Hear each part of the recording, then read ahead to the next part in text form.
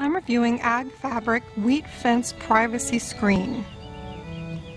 This has a taped edge with grommets built in.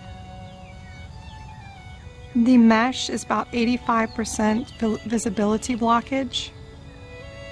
The grommets are placed every 18 inches all the way around the fabric. We are using this as a perimeter for my young children. Our fence is coming down. If you can see that there's pallets that are being leaned on the fence because it's coming down. it's starting to lean towards us. So we're going to take segments at a time, but we still want them to have a border line, a perimeter for them to go. So this was perfect and it's a really good value for the price and what we ended up doing was just tying it off on to different posts around.